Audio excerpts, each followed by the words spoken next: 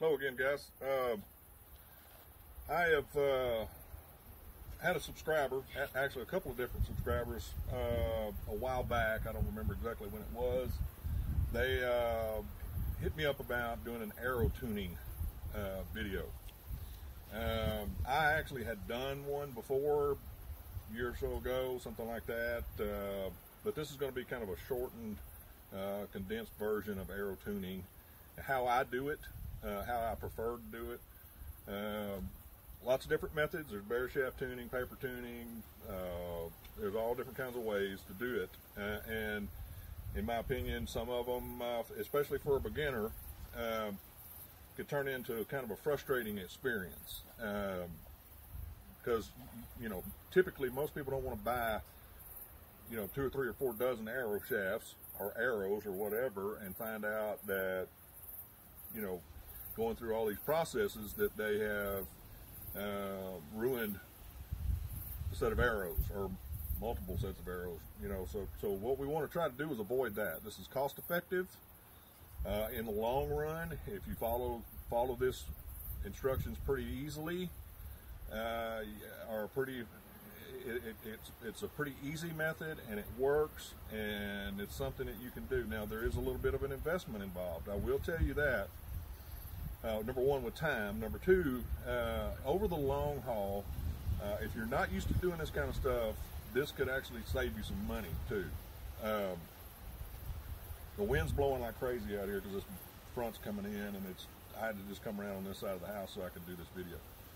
So sorry uh, about that. But anyway, um, the way I do it, uh, more often than not. I have bare shaft tuned, I've done all that, but the way I typically do it, especially with a new bow, uh, from one bow to the next, they may be very similar uh, in draw weight and length of bow and so on and so forth, but uh, it's always good to find which, which arrow shoots best in that bow.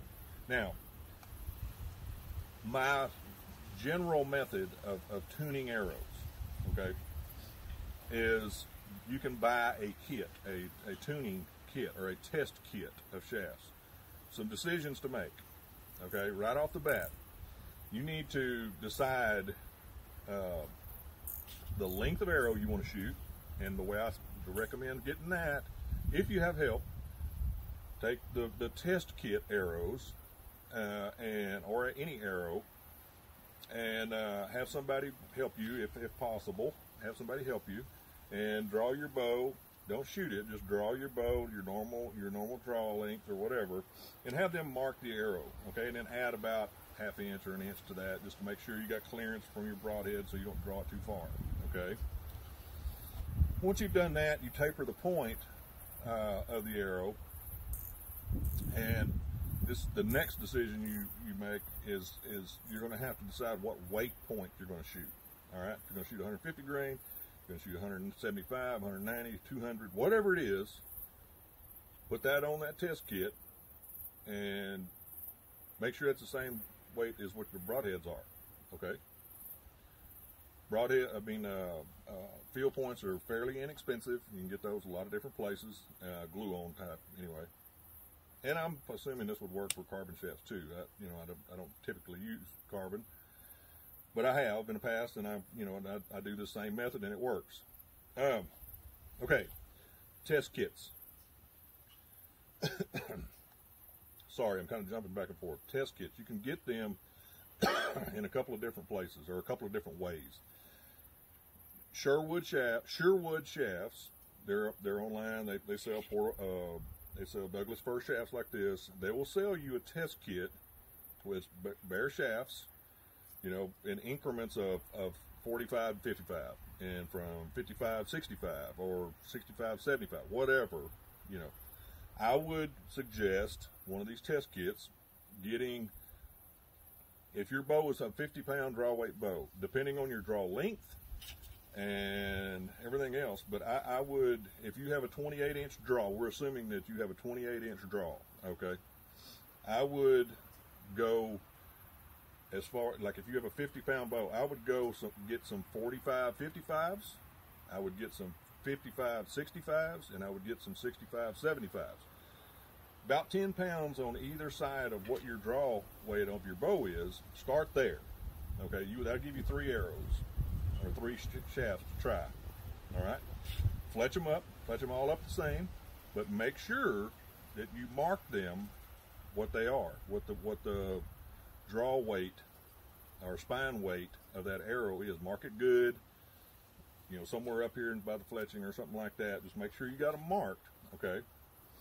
And then, you know, like I said before, get somebody to help you and cut your arrows, taper them, put your point on it, fletch them, make sure you got them fletched with whatever, you know, length feathers you're going to use, and mark them. Most important thing, mark them so you know which one you're shooting. Take all three of those weight groups at the length that you want to shoot and the point weight you want to shoot.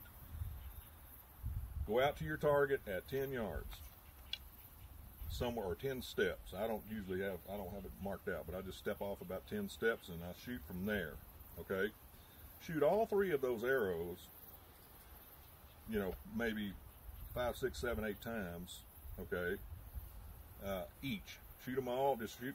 You put them in your quiver whatever. Put them in your pocket, whatever, and shoot all three arrows. And do it, repeat the process. Just keep repeating that process, and but make mental notes as to which one is impacting closest to the bullseye. All right. Uh, once you, you'll probably pretty quickly figure out which ones fly better, or which one, or which couple of those arrows is flying better than the other. One that is super overspined is not going to fly great for you. Okay. One that's too weak, it may fly decent a time or two, but you'll always have that little bit of a, you know, what I like to call a fishtail or paradox of the arrow flying through the air. One of those arrows is going to be impacting more consistently to the center of what you're shooting at. That's the one you need to hone in on. But don't make the mistake of going too quickly. Don't go out and shoot two or three shots, oh, that's the one. Don't do that. Put it down, put it up, go back the next day, whatever. Just take your time in this process so you're not sitting around wasting money shoot them again. Back up to 20, 25 steps. Watch that arrow. See which one is impacting closer or on the on the target where you want it to. Because one will impact right, one will impact to the left, one will be impacting closer to the center, the center line of what you're trying to shoot. That's the one that you need to key in on. Okay. Uh, that's what I typically do. All right. And then whenever I build my shafts, I order shafts that are that spine weight, and then I build a set of arrows out of it, or assemble a set of arrows out of it like that. Okay, that works pretty well. I mean, a lot of most of my bows are pretty much pretty close to the same draw weight, you know, within 10 pounds of each other. But it certainly can make a difference because my draw length is a little longer. Uh, you know, you just have to play with that yourself. Again, make those decisions up front. How long you want the arrow, what weight point you want on the arrow, and go from there and use the test kit. Uh, I think Three Rivers, some of these other people sell test kits that are bare shafts uh, that you can fletch up on your own. Make sure that you mark them. Make sure, and they also, I think Three Rivers sells some that's already fletched. Okay, um, it's a good tool and it works. Uh, but take your time and don't get in a hurry about this process. Now, the subscriber said something about need to talk about nock left, nock right, and that's when you're bare shaft tuning. All right, that means shooting arrow, shooting shafts, test kits, basically, uh, without fletching on them, and that will, assuming that you have good form, a good release, and you, you're pretty proficient at your shot process, you can bare shaft tune. All right. I'm not gonna I'm not gonna dive too far into that. I know that you know if you nock right or nock left, you're obviously overspine or underspine, so on and so forth. But there is a video, and I'll, I'll put a, a, a, link to the video uh, in the description down there. And I encourage you, if you're going to try attempt to do bare shaft tuning, uh, I would encourage you to go watch that video. It's an older video; it's about eight or ten years old. Uh, Ken Beck at Black Widow Bows uh, does an excellent job of explaining nock left, nock right, how to correct it, and so on and so forth. Uh, and the reason why I'm saying go to that video is because he has slow motion cameras and you know he's obviously got photographers and stuff like that. So me sitting here describing it to you, uh, he has a very very comprehensive video of, of what each one of those to nock right, nock right, nock left means, how to fix it, how to address it, and so on and so forth. So I would encourage you to watch that video if you are going to bare shaft tune. Uh, I, I, have done that where, you know, and to me, uh, I get just as good a results using my method, okay? Uh, and I, and I do fine with that. Uh, if you want to get all off into the bare shaft tuning and stuff like that, which I encourage you to try it, just do it and see what you what you come up with. Uh, but it can be frustrating if your shot process and your form is not uh, uh pretty well honed.